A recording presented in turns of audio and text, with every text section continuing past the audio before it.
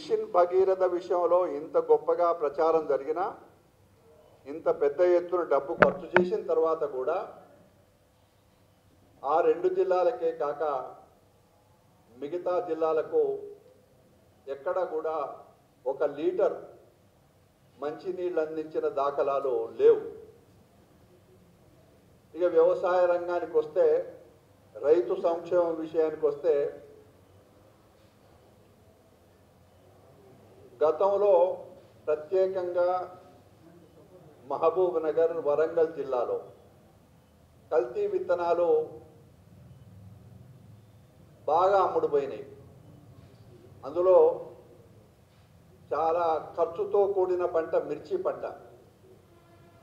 ఈ రెండు జిల్లాలో కల్తీ విత్తనాలు అమ్మడం వల్ల రైతులు నమ్మకంతో విత్తనం వేసి నార్లు పోసి పెట్టుబడి పెడితే చివరికి పంట రాలే. ప్రభుత్వానికి మేమందరం కూడా కలిసి ఒక నివేదిక ఇస్తే ఒక ఎక్స్పర్ట్ కమిటీని పంపించారు మహబూబ్ నగర్ జిల్లాకి వరంగల్ జిల్లాకు కూడా. ఎక్స్పర్ట్ కమిటీ రిపోర్ట్ కూడా ప్రభుత్వానికి అందింది. మేమందరం స్వయంగా అగ్రికల్చర్ మినిస్టర్ గారి దగ్గరికి వెళ్ళాం.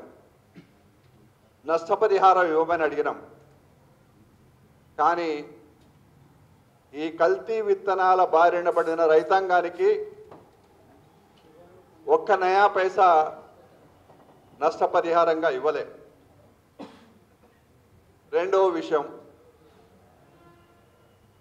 శాసనసభలో టిఆర్ఎస్ శాసనసభ్యులు ముఖ్యమంత్రి గారు మాట్లాడేటప్పుడు భూ ప్రక్షాళన కొత్త పాస్ పుస్తకాలు రైతు బంధు విషయంలో చాలా వివరంగా మాట్లాడినారు ముఖ్యమంత్రి గారు. ఈ కార్యక్రమం ఎట్లా ఉందంటే కొండ నాలికకు మందేస్తే ఉన్న నాలిక ఊడిపోయినట్టు ఉంది ఇది. ఇది దీంట్లో రెండు భాగాలు. ఒకటి భూముల సర్వే చేయాలి.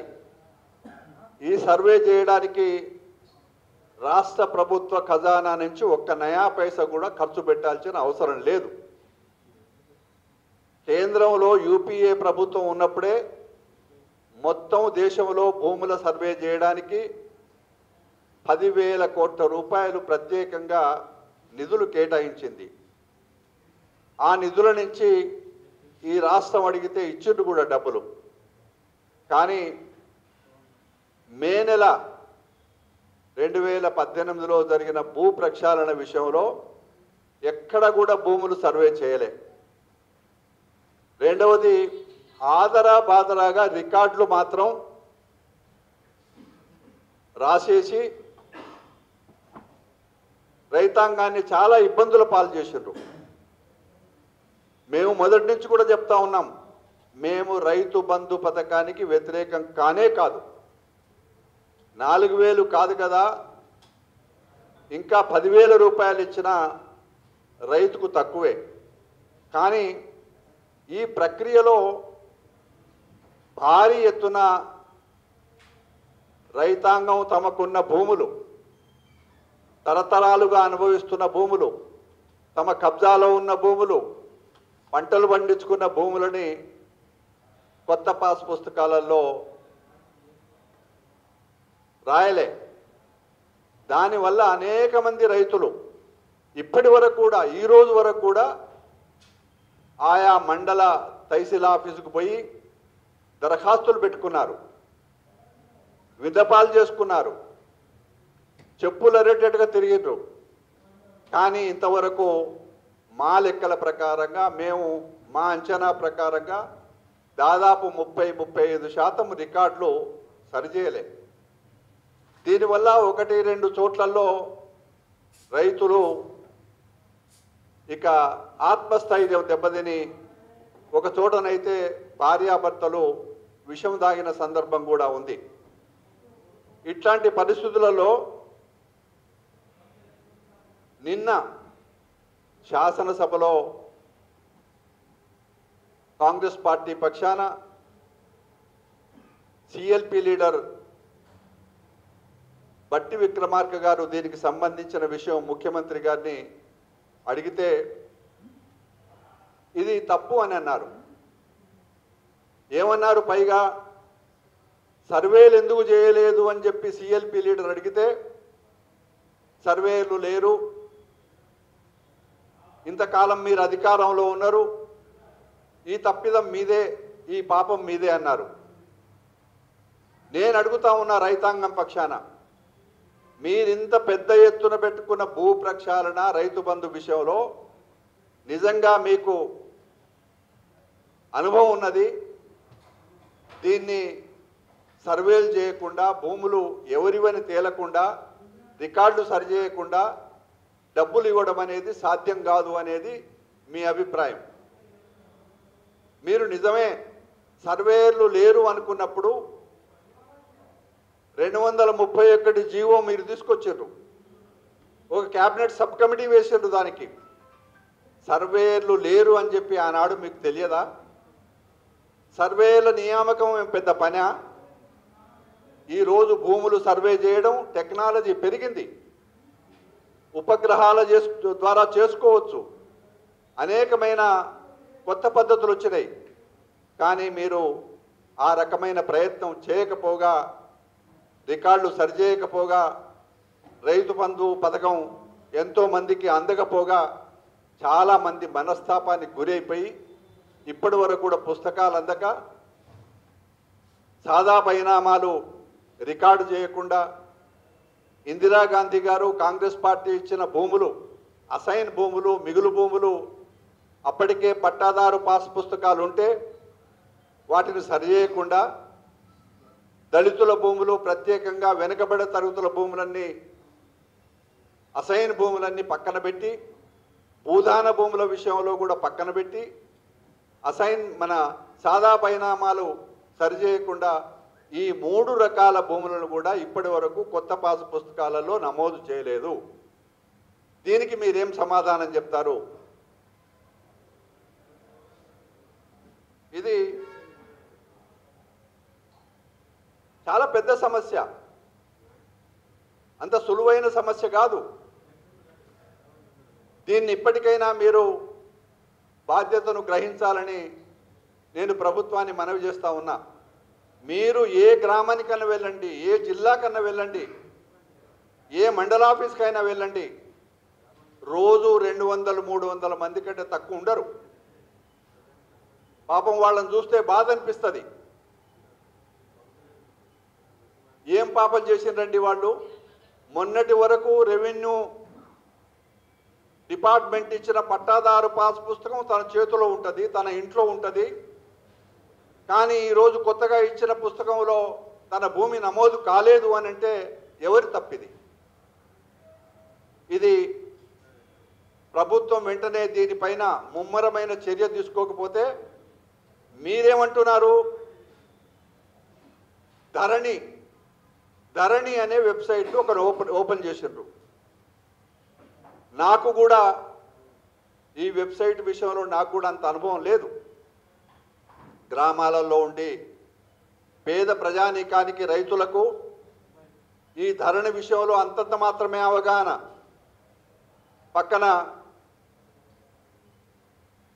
అమెరికాని అమెరికాలో చాలా రోజులు ఉండొచ్చిండు చాలామంది అంటున్నారు ఎక్స్పర్ట్స్. నేను చాలామందితో మాట్లాడిన ధరణి వెబ్సైట్ విషయంలో. వాళ్ళు ఏమంటున్నారు ఈ ధరణి వెబ్సైట్ ఒక్కటే సరిపోదు. దీంట్లో ఎప్పుడైనా దీన్ని అవసరం అనుకుంటే ఒక్క ఒక్కసారి ఒక మీట నొక్కితే భూములు నీ నీ నీ నీ భూమి ఇంకోరి దగ్గర పోవచ్చు ఇంకోరి భూమి ఇంకోరి దగ్గర పోవచ్చు. అందుకే మేము ప్రభుత్వాన్ని ఇప్పటికే రిక్వెస్ట్ చేసినాం. కేవలం మీరు ధరణి వెబ్సైట్ పైననే ఆధారపడకండి. మాన్యువల్ రూపంగా కూడా రైతు ఎప్పుడు అడిగితే అప్పుడు తన హక్కుకు సంబంధించిన భూమికి సంబంధించిన పహణీ కానీ సర్టిఫికెట్ కానీ ఇచ్చేటట్టుగా అందుబాటులో ఉంచమని చెప్పి మేము రిక్వెస్ట్ చేసినాం. మా కైలాష్ ఇప్పుడు మా దగ్గర జనరల్ సెక్రటరీగా ఉన్నాడు. చాలా కాలం అమెరికాలో ఉండొచ్చిండు. ఇందాక వారితో మాట్లాడితే కూడా ఈ టెక్నాలజీ కొంతవరకే పనికొస్తుంది. ఇది గ్రామాలలో ఉండే రైతాంగానికి సంబంధించిన భూమి రికార్డుల గురించి మీరు మాన్యువల్ పద్ధతిలో మీరు అవసరమైనప్పుడు కాగితం ఇవ్వకపోతే రైతాంగం చాలా ఇబ్బంది పడతారు. ఇకపోతే ఐటీ రంగం.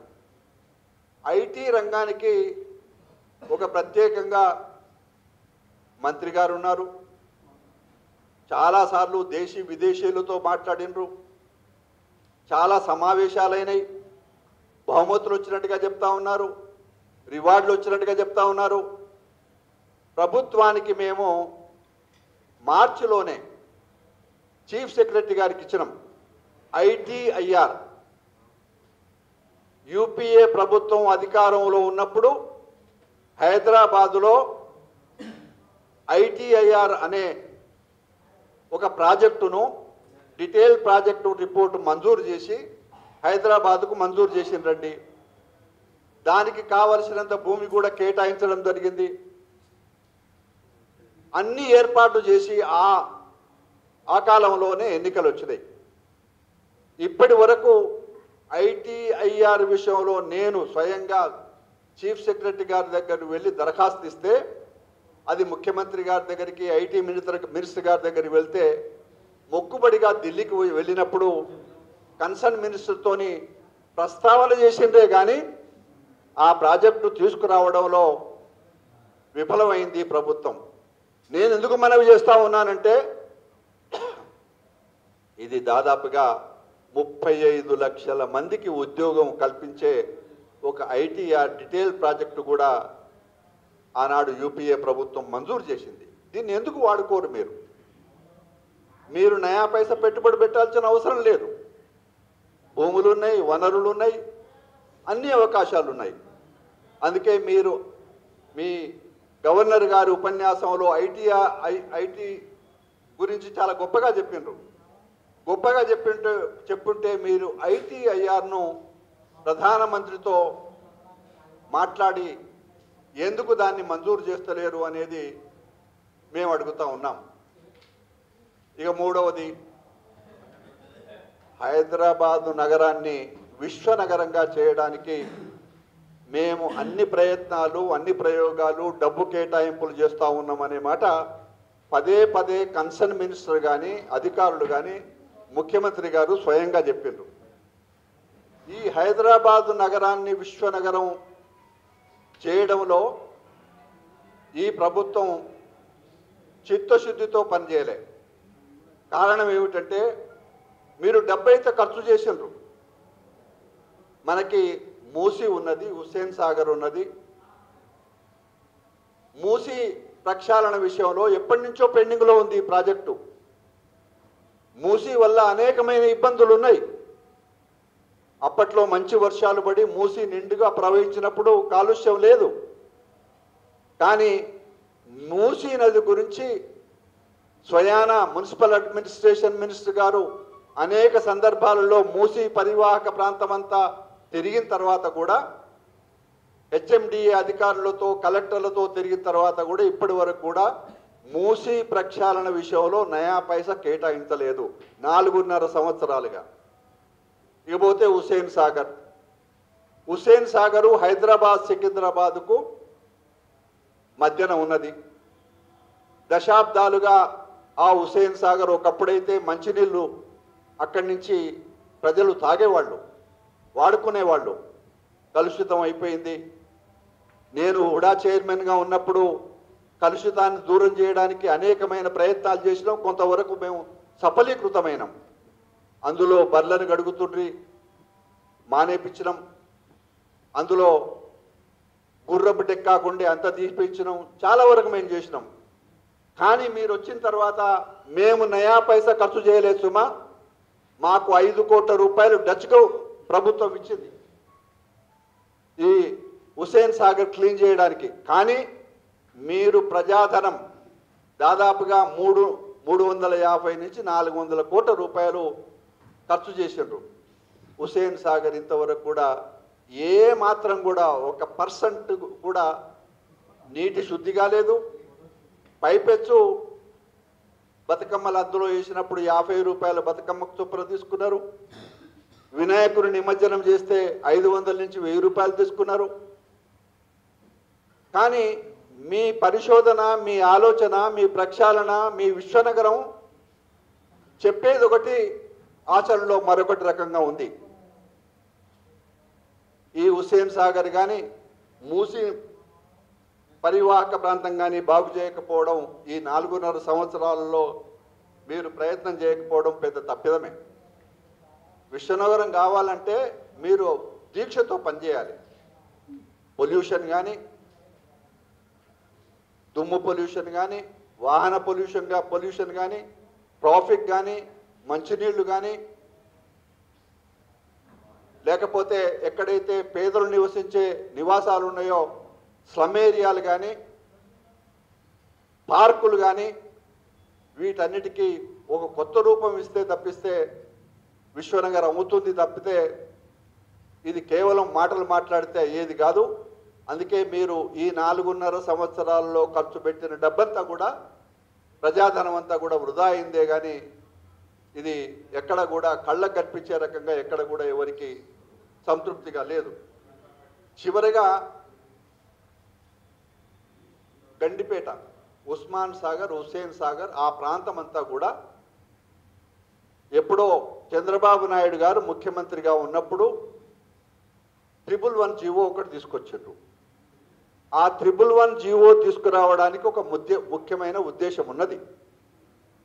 గండిపేట హుసేన్ సాగర్ హిమాస్ సాగర్ పైన ఆ భూములు ఆ ప్రాంతాలన్నీ కూడా విపరీతంగా అనధికారికంగా పర్మిషన్ లేకుండా అడ్డంగా నిర్మాణాలు జరగడం వల్ల నీళ్ళు ఆ పెద్ద పెద్ద ఆనాటి పెద్ద చెరువులు అవి వాటికి రాకుండా ఇబ్బందులు పడిగే పరిస్థితులలో మూడు వం పద నూట పదకొండు జీవో ప్రకారంగా ఏమిటంటే అక్కడ ఏ విధమైన కట్టడాలు రావడానికి లేదు. ఇది జీవో ఉద్దేశం. కాలుష్యం కూడా రావద్దు అనేది. కానీ ఈ మధ్యకాలంలో అప్పటి కలెక్టర్ రంగారెడ్డి కలెక్టర్ హైదరాబాద్ను లేకపోతే Hyderabad metro water works MD గారిని ఒక కమిటీ వేసిండ్రు. నేను వెళ్ళిన కమిటీ ముందు కూడా ఒక రిపోర్ట్ ఇచ్చిన నాకుండే అనుభవంతో నేను ఉడా చైర్మన్గా ఉండే అనుభవంతో. నేను వారితో ఏం కోరినంటే నేను ఎందుకు మనవి చేస్తా ఉన్నా అంటే ముఖ్యమంత్రి గారు మొన్న మధ్యన వికారాబాదు అక్కడ ఎన్నికల ప్రచారానికి పోయినప్పుడు నూట పదకొండు జీవో ఎత్తేస్తామని అన్నారు. నేను ముఖ్యమంత్రి గారితో రిక్వెస్ట్ చేస్తున్నా.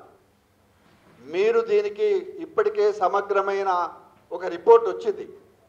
ఈ నూట పదకొండు జీవోను ఆదరాబాదరాగా ఎత్తివేయకండి.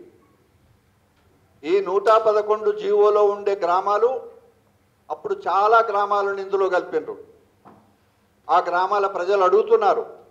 వ్యవసాయం చేసుకునే పేద రైతులు అడుగుతున్నారు. వాళ్ళ ఒక్కసారి మళ్ళీ ఆ కమిటీని ఆ జీవోను రివ్యూ చేసి ఎక్స్పర్ట్స్తో కొన్ని గ్రామాలను మినహాయించండి.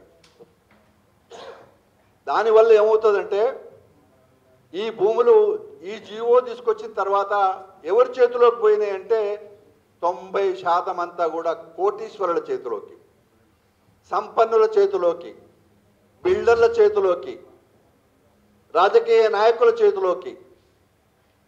ఇంకా పెద్ద పెద్ద పారిశ్రామికవేత్తల చేతిలోకి వెళ్ళాయి. ఇది ఎవరికి మేలు చేసినట్టు? నూట పదకొండు జీవో ఏదైతే ఉద్దేశం ఉన్నదో దానికి దెబ్బ తగిలింది. అక్కడి రైతులు ఇబ్బంది పడుతున్నారు. అక్కడ భూములు ఉన్న వాళ్ళు ఇబ్బంది పడుతున్నారు. ఇంతకాలం నుంచి ఆ భూములలో వాళ్ళు అమ్ముకోవడానికి లేదు.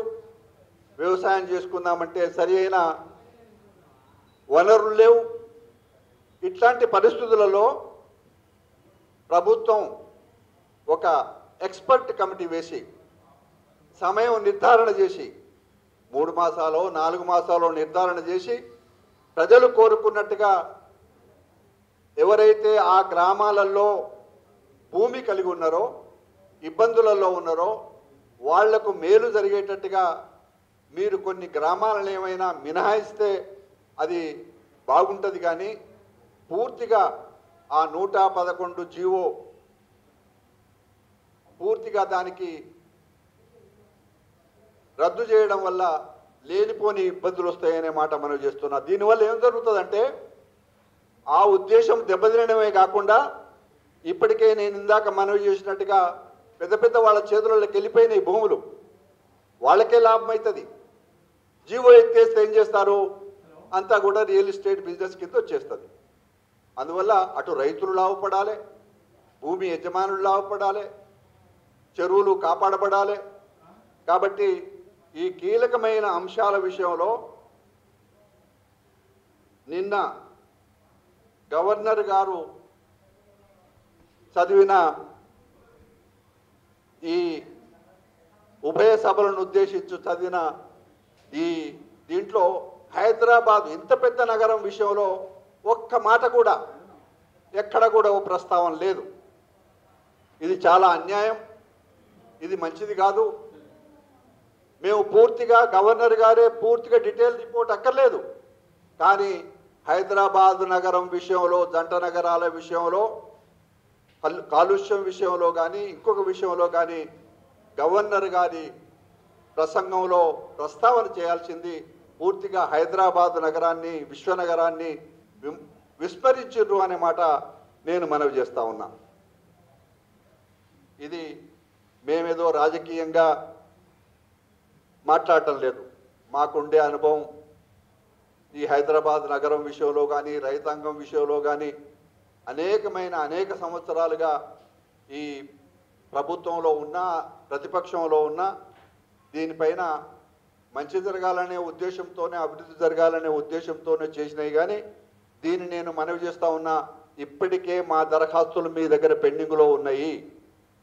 నేను ఈ ప్రస్తావన చేసిన అన్ని కూడా భూముల ప్రక్షాళన కొత్త పాస పుస్తకాలు జీవో నెంబర్ నూట పదకొండు ఐటీ విషయంలో ఐటీఐఆర్ విషయంలో నేను ఇందాక ప్రస్తావన చేసిన అన్నిటి విషయంలో కూడా మేము ఇప్పటికే ఈ నాలుగు సంవత్సరాలలో అనేక దఫాలుగా కన్సర్న్ మినిస్టర్ గారికి చీఫ్ సెక్రటరీ గారికి మా విన్నపాలన్నీ మీ దగ్గర పెండింగ్లో ఉన్నాయి. దయచేసి వాటిని ఒకసారి మళ్ళీ రివ్యూ చేసుకొని ఈ రాష్ట్రానికి న్యాయం చేయమని చెప్పి ఇది కేవలం ఇది మొక్కుబడి శాసనసభగానే జరిగింది కానీ ఇది నిజంగా ఇంత భారీ ఎత్తున ఈ ప్రభుత్వానికి ఈ పార్టీకి ప్రజలు ఓట్లేసిన తర్వాత ఈ ఆదరా బాదరా నిర్ణయాల వల్ల మంచి జరగదు అనే మాట నేను మీ ద్వారా మనవి చేస్తా ఉన్నా.